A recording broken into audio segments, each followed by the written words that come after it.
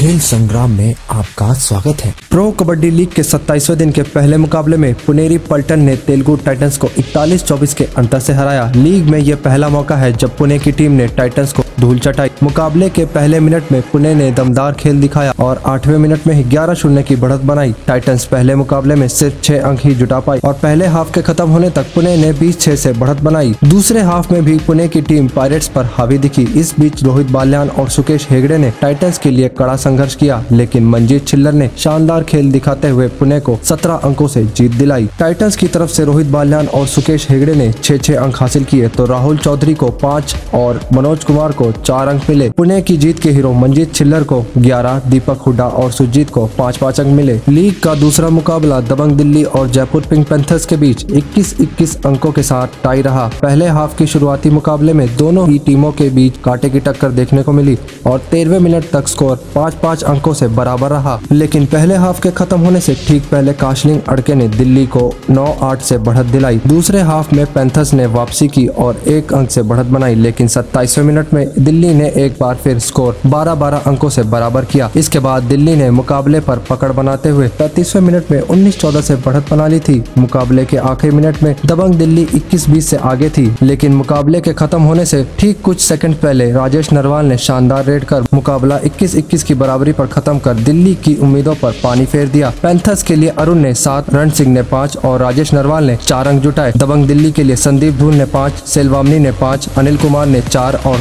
काशलिंग अड़के ने तीन अंक हासिल किए। कल देखिए पहला पंगा, बेंगलोर बुल्स वर्सेस पुनेरी पल्टन, और दूसरा पंगा, दबंग दिल्ली वर्सेस बंगाल वॉरियर्स। आगे की खबरों के लिए देखते रहिए खेल संग्राम।